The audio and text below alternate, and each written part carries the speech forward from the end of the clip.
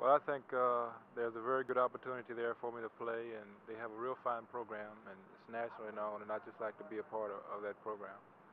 The SEC is a pretty tough conference, is it not?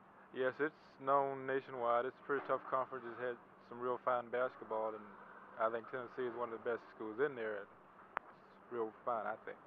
Coach Mears probably had a big part in your signing with the University of Tennessee. Yeah, I think he stands for some of the things I stand for. He uh, is very dedicated in his work, and he's a perfectionist, so to speak, and he likes to get things done, and I like that. He's a boy that can give us maybe some excellence in this position. I think he's a potential All-American in in our league as well as in the junior college ranks. I think this boy could take us all the way and beats uh, University of Kentucky, which is a team that we've been fighting for the last five years for the one or two spot as you know, uh, we've been unlucky the last three years and come in second to them and gone to NIT. Uh, the year before that, of course, we beat them and, of course, end up winning the Southeastern Conference Championship. You have a lot of good boys coming back, though, from last year's squad.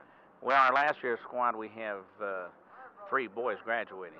No juniors on the team, so we had two real fine sophomores. Both of them started.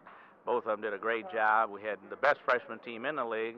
We have a 6'11", 235, 240 pound boy that was voted the best big man in the Southeastern Conference as a freshman.